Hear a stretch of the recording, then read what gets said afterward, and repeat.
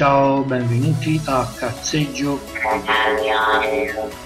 Ciao, benvenuti ad un altro episodio di Cazzeggio Catabiotrico. In questa puntata discuteremo brevemente di UFO e Pulp Max. Ciao. Ciao, benvenuti in questa puntata ufologica molto densa di informazioni e di immagini. Grazie all'analisi del blog Mia Fantascienza è stato possibile dare una stima piuttosto affidabile sui numeri e le date di tecnologia aliena mostrate nelle Pulp Mags, definendo con tecnologia aliena la prima iconografia utile della rivista circa la rappresentazione di Foo Fighters oppure un UFO discoidale o qualcosa che ne abbia una buona rassomiglianza, si può dire quanto segue.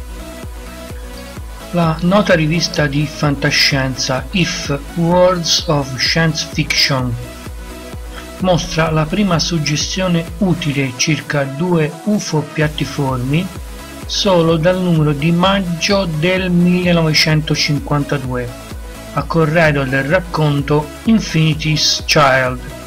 Dopo tale data compaiono ovviamente nella rivista anche altri oggetti di forma piattiforme che sono stati rielaborati in vario modo dagli illustratori.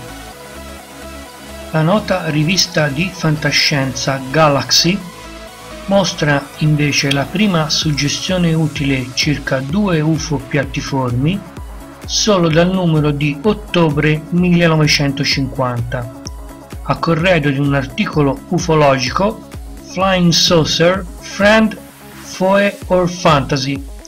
Dopo tale data compaiono nella rivista anche altri oggetti di forma piattiforme che sono stati rielaborati in vario modo dagli illustratori.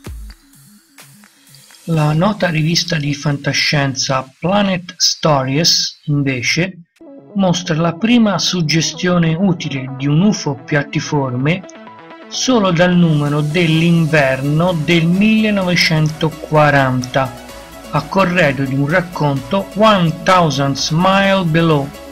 Dopo tale data compaiono nella rivista anche altri oggetti di forma piattiforme che sono stati rielaborati in vario modo dagli illustratori.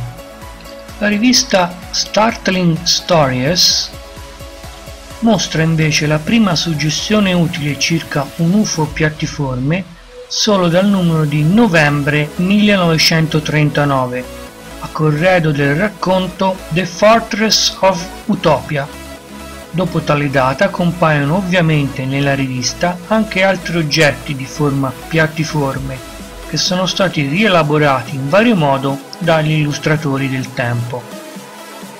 La nota rivista di fantascienza Astounding Stories invece propone un UFO piattiforme solo dal numero di novembre del 1933 a corredo di un racconto Dead Star Station di J. Williamson.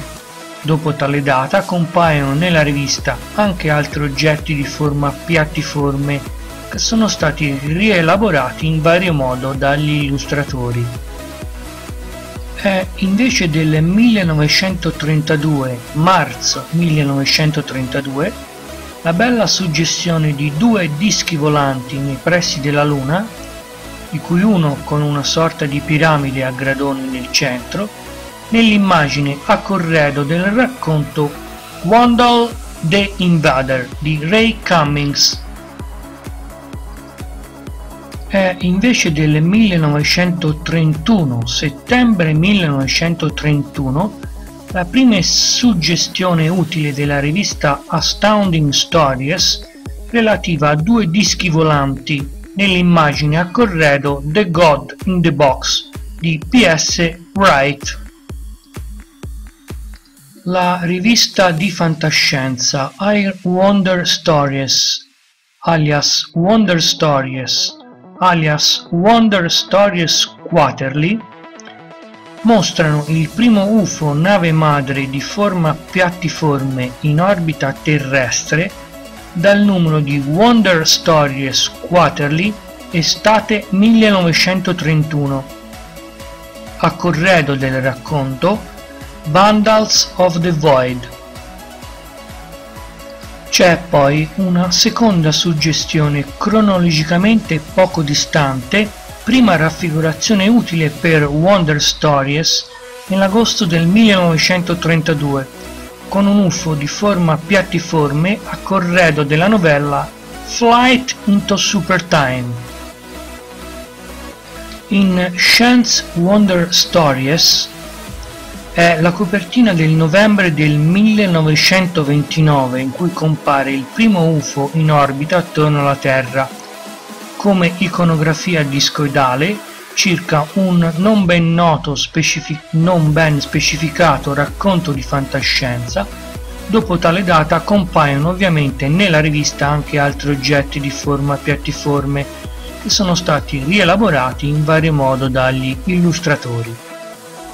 È tuttavia il magazine di fantascienza Amazing Stories Amazing Stories Quarterly che forniscono dall'aprile del 1926 fino al gennaio del 1976 moltissime suggestioni interessanti di tipo ufologico è di Amazing Stories in aprile del 1948 il primo plateale racconto di un UFO crash nella novella The Monster from Mars di Alexander Blade. La fabula è composta da un UFO crash accaduto ai tempi moderni, in una giungla lontana, dove le autorità indagarono, mentre contestualmente dall'astronave aliena ebbe ad uscire un mostro marziano che, in Amazing Stories del 1947, febbraio 1947, un'illustrazione di un possibile Foo, Fighter, Foo Fighters osservandone appunto forma e dinamica di volo in allegato al racconto Orphan of Atlantis di W. L. Hamling. È invece del luglio del 1943 su Amazing Stories la suggestione in cui si vedono per la prima volta dischi volanti che ronzano intorno ai bombardieri. È invece in Amazing Stories dell'agosto del 1935 in cui sventola in prima pagina lo shape di un oggetto ellissoide di colore giallo aranciato che emette luce quasi come fosse un piccolo sole. Amazing Stories Quarterly dell'autunno del 1929 propone in copertina dei dischi volanti piattiformi e varie altre suggestioni ufologiche a corredo del racconto The Other Side of the Moon. È invece Amazing Stories in novembre 1929 che presenta un'illustrazione in bianco e nero che risulta essere stata colorata dal proprietario della rivista, che poi dopo successivamente la rivista è stata scannerizzata, in cui compaiono oggetti simili ai Foo Fighters. Inoltre esiste la raffigurazione di una specie di nave aliena metallica di forma ellissoidale, con entità aliene non troppo dissimili dagli alieni di H.G. Wells. Le illustrazioni sono a corredo del racconto di H. Vincent, Microcosmic Buccaneers. È invece Amazing Stories del settembre del 1929 che propone la suggestione grafica con due UFO a forma di due palle volanti e luminescenti, con shape simili quindi ai Foo Fighters, fenomenologia S. Dalen, a corredo del racconto Station X. È invece in Amazing Stories dell'aprile del 1928 che propone a corredo del bel racconto Baron Munchausen's Scientific Adventures, edito proprio da Hugo Gansbach, una suggestione con dischi volanti ed oggetti sferici che potrebbero ricordare i Foo Fighters.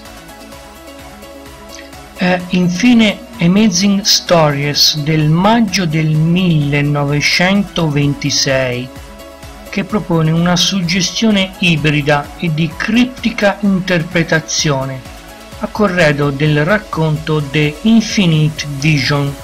Ci sono vari oggetti di forma sicuramente siluriforme, quindi con shape dirigibile e tecnologicamente poco interessanti ma sono proposti nella rappresentazione grafica anche due oggetti che per il modo in cui sono stati disegnati dall'illustratore potrebbero essere interpretati dall'occhio umano anche come con forma semidiscoidale, disponendo al centro del veicolo di un'elica intubata.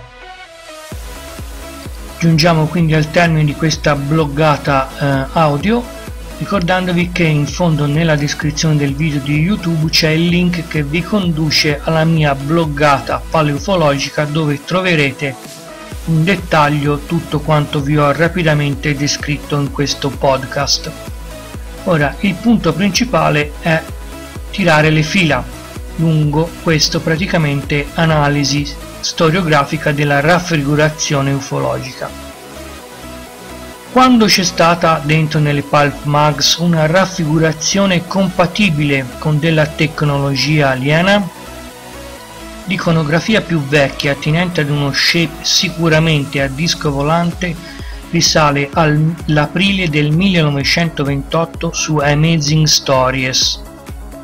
L'iconografia più vecchia, attinente ad uno shape sicuramente compatibile con la fenomenologia Foo Fighters Lucy di Sdalen la si ritrova in Amazing Stories del settembre del 1929.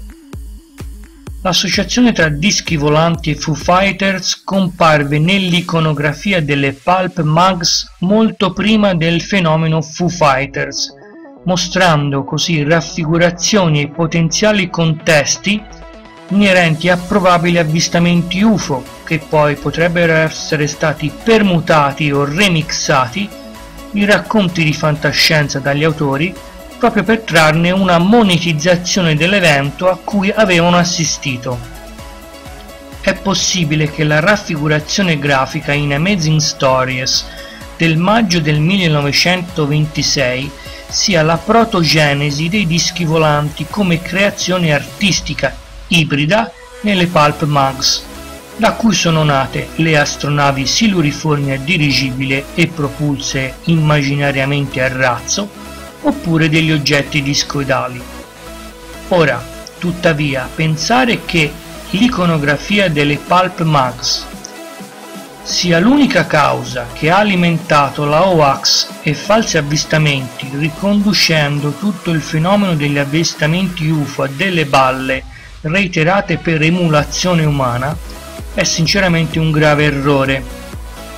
Sono infatti numerosi gli avvistamenti di oggetti discoidali e sferici e tubolari osservati in un passato molto più distante dal 1926 che finirono rappresentati in quadri e o descritti in annali o protogiornali vedere ad esempio l'evento di Norimberga del 14 aprile del 1561 quanto il caso del 1754 della contattata Elisa Haywood, autrice del testo The Invisible Spy, in cui è possibile tuttavia rintracciare chiaramente la presenza di un artefatto alieno moderno, decisamente fuori contesto storico perfettamente descritto nel 1754 nelle sue funzioni, senza che l'autrice compia nessun errore di previsione. Un saluto, ciao!